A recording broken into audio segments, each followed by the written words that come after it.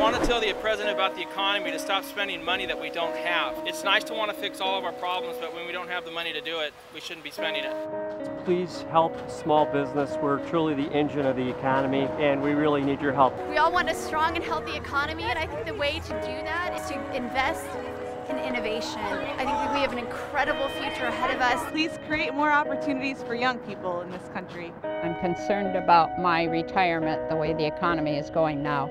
I want to tell the president we need to keep the jobs in the U.S. We need to stop shipping the jobs overseas. I would like to tell the president I work really hard for my money and I would like to keep the vast majority of it myself. I want to tell the president that I'm tired of being in a recession or whatever we're in. I would just like to be in an economy that we're proud of.